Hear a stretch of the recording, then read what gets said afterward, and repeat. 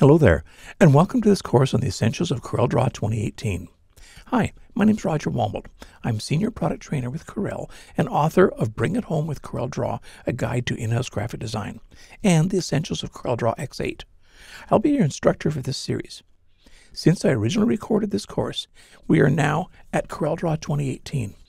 Throughout this course, I've made updates to reflect new or changed features.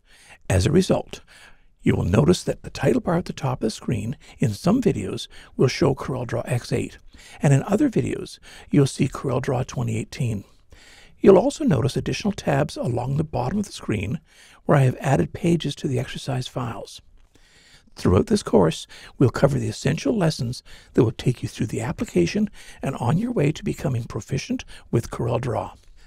We'll start with the welcome screen where you will learn the various ways in which you can create a new or open an existing document, and then cover off things such as working with the workspace and looking at various resources in CorelDRAW where you can find additional help.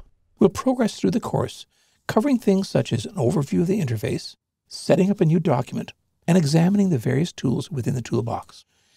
Now, there are a number of different types of elements that we can work with in CorelDRAW, such as ellipses, rectangles and text, bitmaps, as well as other objects.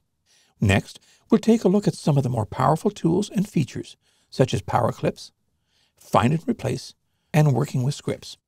Once we've taken a brief look at the color palettes, we'll be discussing printing. We'll also take a look at how to set up a print merge, as well as the imposition layout tool.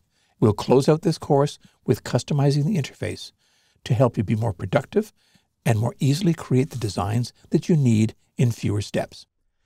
The lessons in this series have been designed to have you easily learn and understand the concepts. If you have access to the exercise files, feel free to use them, and well, if not, don't worry too much about that. You'll still be able to follow along. So with all of that being said, let's get started.